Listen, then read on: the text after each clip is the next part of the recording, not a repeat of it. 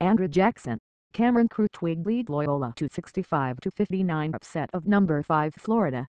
Aundre Jackson scored 23 points, Cameron Krutwig added 14 and Loyola stunned number 5 Florida 65-59 on Wednesday night, handing the Gators a third consecutive loss. Less than 48 hours after Florida coach Mike White said his team's performance against rival Florida State was the epitome of soft, the Gators delivered another dud. This one could knock them out of the Associated Press Top 25 next week, especially if they lose to 17th-ranked Cincinnati in New Jersey on Saturday.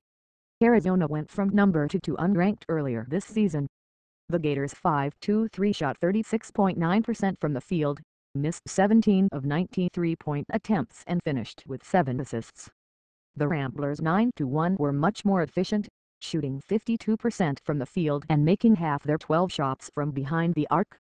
No Florida player reached double digits in scoring, while the Gators also led just 93 seconds.